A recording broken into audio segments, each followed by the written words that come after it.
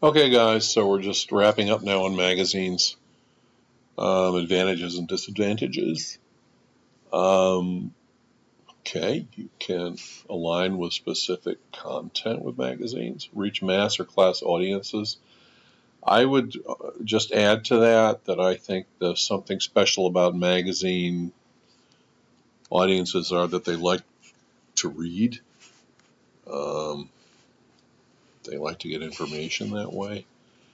Um, they also are very uh, closely uh, aligned and they like very much the magazines that they've chosen. So there's a, a relationship between the media form and the audience that we definitely don't see in out of home. I don't think we really see it in newspapers, but with magazines where you choose them and you're many times paying a subscription um, to get it regularly, there is a special relationship. Excellent color reproduction.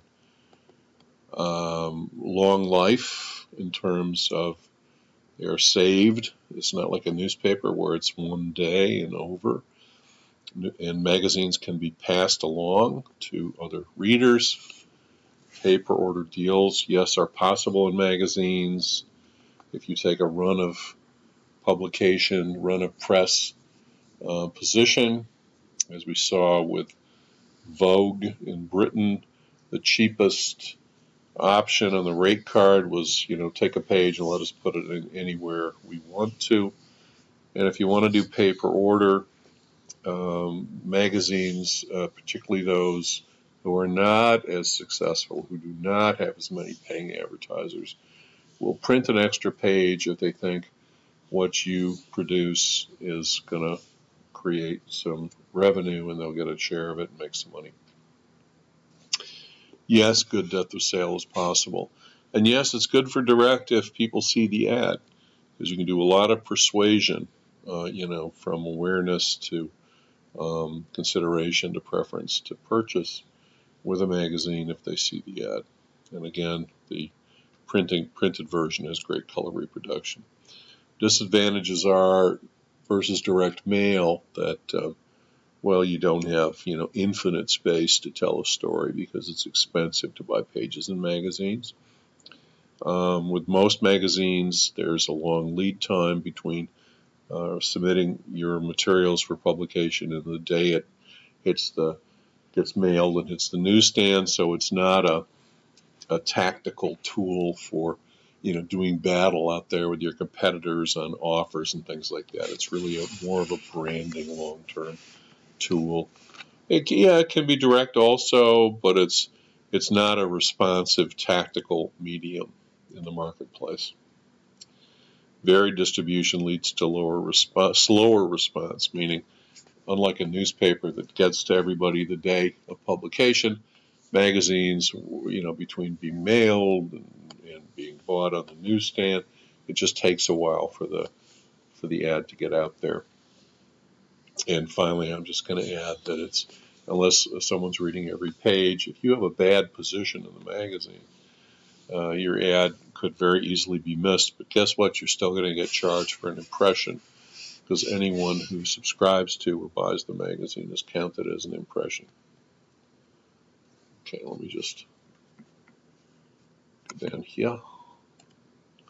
Oh, what the heck was that? I don't even know. Okay, well, come on, fellas. There we go. This is from your book, Upscale and Niche Audiences, Advantages of Magazines, Getting Attention, Hanging Around, that's the long time magazines tend to live in the household, including my ex-wife who has stacks of Vanity Fairs going back Lord knows how long.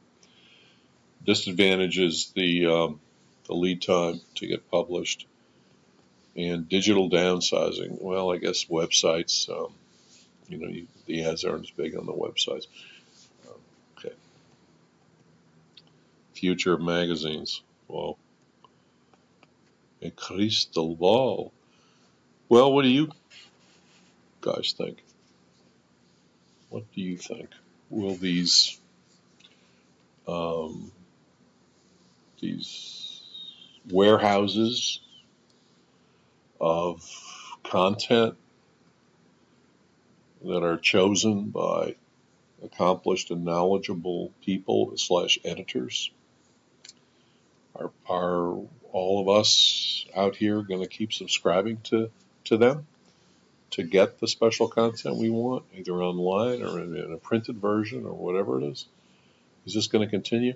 I kind of think it will. I have to say. Uh, I just I, I just can't imagine. Maybe it won't always be printed, but I just can't imagine that particular mode of entertainment. It's entertainment. It's a way to spend a couple of hours, as we said way at the beginning of this presentation. And for people who like to read, and not just listen and watch, but read and kind of use their imaginations and spend some bit of leisure time. I mean, I think that in one form or another, magazines will exist into the future. So, um, next class is, well, of course, that's not accurate. So now I'm going to have to go and do this again. Uh, 228. I'm going to say 36. I hope I'm right. If I'm not, send me an email. I'm going to post uh, a week from today, at the latest, um, a lecture on radio, the first electronic medium. And um, I'm going to want you to read these chapters about radio for the next class. Um, so, what do we talk about today? Um, we talked about direct mail. We looked at some key types of direct mail. Um, uh, a standalone piece, uh, a, a, classic direct mail package that comes in an envelope, um, catalogs. We talked about the high price of many kinds of direct mail, given the cost of mailing and production. We talked about the beautiful color reproduction, the depth of sale, and uh, yes, it could be a thousand dollars cost per thousand, like a dollar, right, for each piece. But the impression is very good and very deep, even though it's expensive. And uh, there's a future for direct mail because email boxes are full, and the other regular terrestrial, real-world mailboxes maybe not so full anymore. We then we then really dug into magazines spending, saying that it's uh, more has been declining in terms of ad spending in magazines. It's only six or seven percent of worldwide ad spending. We looked at the history of magazines, and that these are the purpose of them in the in our world and in our lives is being able to spend several hours reading and looking at things that we enjoy. Uh, we talked about buying magazines. Are you buying the national edition or the regional or, or local edition or demographic edition? And then your choice of magazine is going to be determined by your, your key target market for your prospecting. And then you're going to find the magazines uh, that your key target prospects like to read and subscribe to and buy. And then you're going to start your negotiating uh, with those magazines. We looked at the industry, trade associations, as the Magazine Publishers Association has now been renamed. We showed you actually a presentation about magazines and why they're still relevant, which talked about uh, it's not just the printed magazine, it's the online version, it's the mobile version, it's the you know, it's everything magazines do. It's the fact that people who read magazines are social influencers. They're opinion influencers. They have lots of friends. They like the paper, tactile, tactile, I should say, reading of magazines.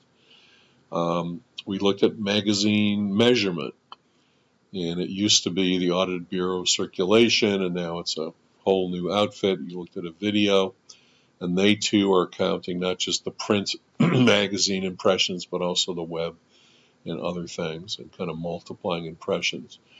Um, we said that a magazine impression is based on anyone who who gets the magazine uh, times a pass along value. So they're very very inflated because we don't know if each of those people is going to see our ad, do we?